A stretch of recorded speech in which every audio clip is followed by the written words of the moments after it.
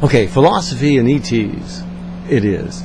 Well, the first thing that comes to mind is that um, um, every ET out there, extraterrestrial, is way smarter than humans. It's not that they're so much smarter than we are, it's just that we're stupid. And by stupid, I mean in a stupor.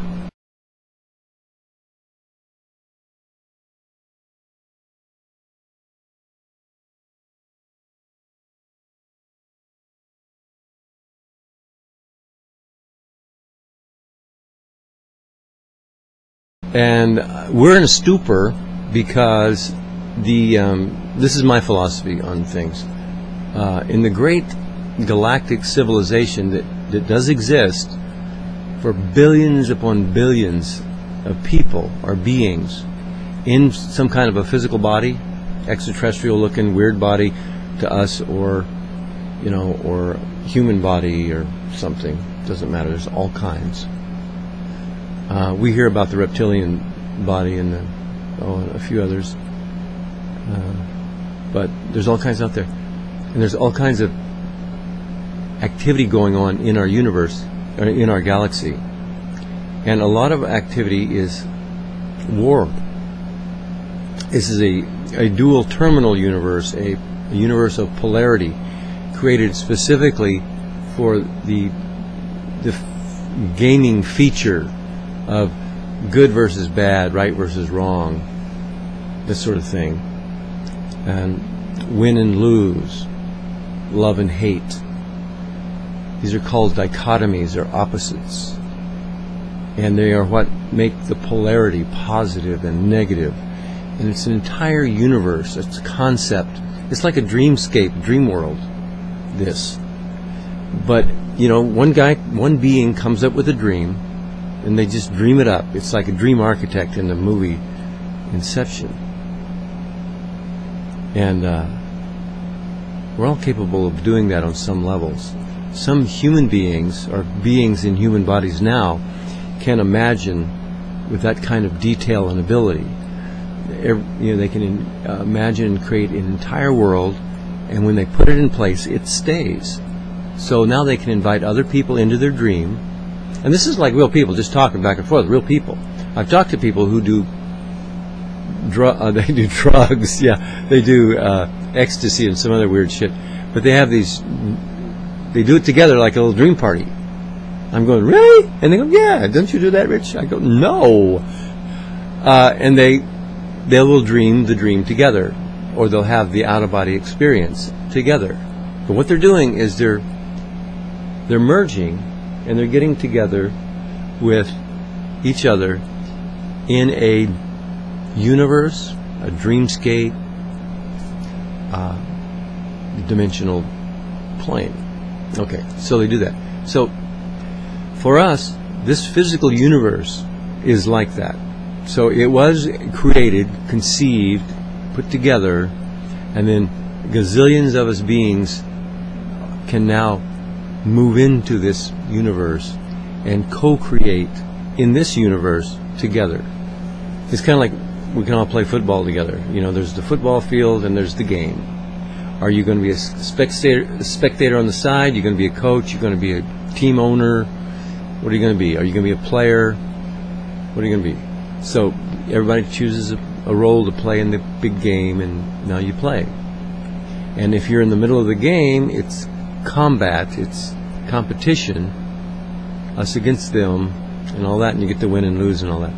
So, galactically speaking, uh, what we have here are the main two main teams: the light team and the dark team, or the good team and the bad team. Or, uh, more specifically, the civilization or civilizations that are into control and domination of the rest of the beings in the galaxy or or the universe. And the other side is those beings that are into enlightenment and freedom. So you get these basic two sides, and uh, you can live thousands of lifetimes in a peaceful world of spiritual awakening and ascension and uh, evolution and all that. And never have any encounters with these other beings who are into control and domination of the spirit or consciousness. You, me. And here they come. And now the game, the seriousness of the game begins. But at this level of gameplay, we are a greater being outside of the gaming universe. It's like in computer game, you've got your character in the game, but then there's the greater you outside of the game who can turn the game on and off and can really see it as a game and it's entertaining. But if you got into your gaming world and it was virtual reality, you got your virtual reality glasses on and now you're in the game world, but in your virtual reality game world, there was actual sensory perception, not just visual, but you could feel the heat and the cold and the hitting and the hurting and the pain. And then if the game was set up in such a way that you got trapped into the game, you can't get out easily without dying, then it's and it's not good to die and you don't want to die and then you get mind wiped where you don't realize you're in a game world you think this is the real game and outside this you're you're playing you're still playing the game. Out here it's like oh this is fun. And your little self in the game is so fucked up miserable it's like if there's a god fuck you. Why are you doing this to me? And then the rest of you the god self is like it's like yeah what's wrong with you? And then you realize from some level that the God self is fucked up in some way. I mean, from this perspective, it's like, what are you fucking thinking? This is not fun. It might be fun for you, but it's not fun for me. And this, it's the same self, but in a smaller perspective of being. And it, it's gotten fucked up. And that's just planet Earth. It's, it becomes a mind fuck, mind boggle. But it's gaming on different levels, with different levels of difficulty. And then we because it's so virtual reality that we become the character that we've created. And now we're being that. And now we can't not be it.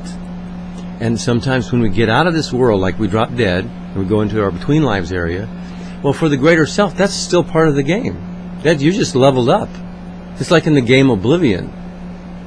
You you it, within the game you change dimensions and you go in these other dimensions and you fight the evil mon- monsters or the demons. And then whatever happens in your computer gaming world, you end up back in physical world and you do what you do as a hero or whatever. But it's, it's like that in real life. We are multidimensional. So we are playing a game from the, the, the being, the great being that we are, pretty much can control, can control the game and call the shots. We've set this stuff up. So while on some levels there's the evil bastards and they're doing it to us. They're fucking us up and fucking us over and they're mind wiping us and they're evil archons and all this shit. Well, yeah, but on yet a higher level, it's just another game. Spirit loves to play, and we've been, we're immortal, it's like how many times do we have to play games before we get bored and can predict every move? A hundred times, a thousand, a million? So, spirit, the great consciousness that we are, and this is just my philosophy, okay? This this could be all bullshit, and uh, so watch out for that, okay? But this is my understanding of it, at least today, okay? So, on a greater level, this is just gameplay. And God consciousness, or the creative essence that we are, has been doing this so much. And it can't stop. We, we, will, we do not stop creating and coming up with something new and interesting and different. Doing the same old thing gets boring. And so we want something fresh and interesting and new. So we've got to come up with new things. But we're so great in creation that we've come up with all this shit already. Thousand times, million times. What do we do now? I know. How about let's invent some fucking archons? You know, evil bastards. Call the lords over the universe or uh, the lords of humanity. Yeah, then what? Hey, this sounds like a good game. Then what? Well, then we uh, we create ourselves with limited consciousness. Yeah, we've done that before. Yeah, but this time we mind wipe ourselves, so in that perspective, we don't know we did it. I think we did that before. Well, okay. Well, how about this time? We blame it on the evil archons because it is their fault. You know, they are the ones mind wipe in the game. Oh yeah, okay. I think that'll work. It'll hurt though. Oh, I know. I don't care. Say that now. Sure, outside the physical universe. Ah, pain. How long? 80 years? Oh, that's nothing. That's just a blink. It hurts that long? That's nothing. Yeah, but it's a mind wipe. Up here, we don't even have that mind. That, that whole thing, that whole construct that is the mind, that's nothing. But we got to give them a mind that's all fucked up, so they have these all weird emotional responses to life and everything, and they get afraid for they don't know why they're afraid, and uh, they meaning us as them, creator god beings, designing games to play, and so we get involved, and on this level of the game, we're going like, what the fuck is going on around here? And then we hear these philosophies of how life works mine and other people's. And it's like, really? Well, then how come not two fucking people are agreeing on the philosophy of how things really work? Why is that? The best philosophers that I've encountered and studied and read on the internet, they all share a common thread of which I share. It kind of holds it together. But on the details, uh-uh. Not fucking one of them can line it up what's the origin of Earth? Some will say Earth was a, a, a planet in another star system, another galaxy, and it just moved around and moved around. Some, people, you know, the the Gnostic. Well, other people say that Earth well, is the personification of Gaia Sophia. Really? Okay. Um, And then there's you know the size and shape of Earth. Philosophy is, is hard, and the moon. Where what the fuck? What is the moon? And where did it come from? So many different philosophies. Okay, so mine's just one more, but I like mine, and I like philosophy. So I love to un- I love understanding. Doesn't mean I have. A, I love money too, lots. Doesn't mean I have it, I love understanding. I love being able to understand things. So I like to hash it out and talk it out. Uh, but fortunately, I've been able to get out of body and move into these other planes of existence and talk to people there and compare those those planes of existence with this one. And there's a lot of similarities, a lot of differences. But what is in common is people. There are other beings. And the ones I usually encounter are human uh, you know, a few times I've seen the tall grays, tall browns, pinks. Pick a fucking color. But most of them, they had that long or that short. I've seen the regular grays too, little short. Fucking idiot. Goons. Goon squad for the reptilians. And that's just a story. How the fuck do you know that's true, Rich? I don't know it's true, but it makes sense to me and I've gotten confirmation. Other people have, have uh, seen it through out of body experiences that the, who the Greys are and what their relationship to other beings is. The Archons uh, were uh, originally discovered by the Gnostics, who were basically super uh, efficient out of body travelers and remote viewers and researchers and they did it for a very long time. I guess hundreds of years. And uh, today we have remote viewing, technical remote viewing, scientific remote viewing, things like that. And there's one book by Courtney Brown, and he writes about his uh, galactic voyage. I think is the name of the book. And he talks about encountering the Greys and the reptilians, and he he had the same uh, he drew the same conclusions or had the same experience that the reptilian ETs were the controllers of the hierarchy of grays, and there's the tall grays and then the short grays, like the the officers and the uh, the grunts. And I've encountered the grunts in my bedroom, like so many other people in the astral.